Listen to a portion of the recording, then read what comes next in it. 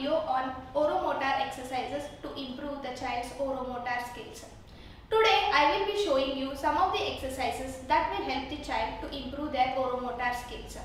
Let's get started.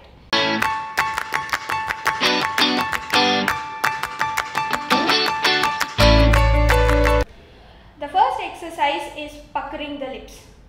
Allow the child to pucker the lips and this exercise will be done in front of mirror so that the child copies the same expression or the movement of the lips that you are doing.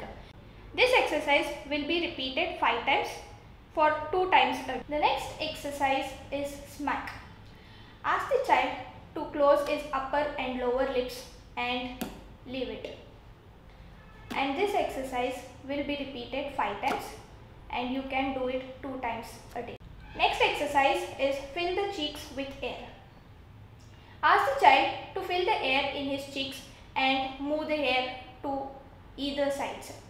The next exercise is fill the cheek with air. Allow the child to fill the air in his cheek and move the air either sides. This exercise will be done 5 repetitions and you can do it 2 times a day.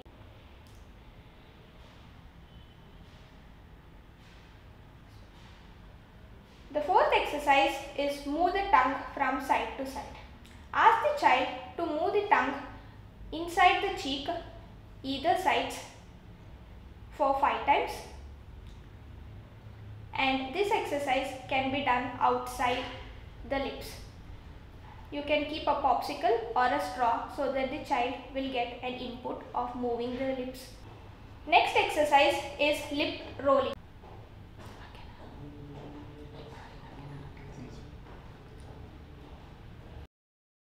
Times a day. The next exercise is smile.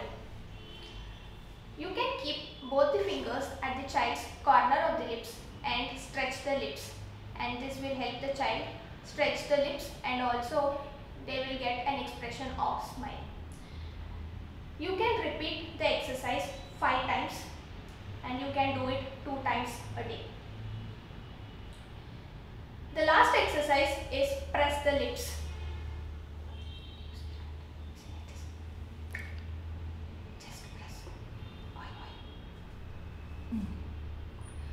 The next, ex- the last exercise is press the lips. The last exercise is press the lips. Ask the child to press upper and lower lips and relax. It is similar to smack. But here the child is just pressing the upper and lower lips to get awareness in his lip muscle. And this exercise, the last exercise is press the lips. Ask the child to press upper and lower lips and relax. It is similar to smack.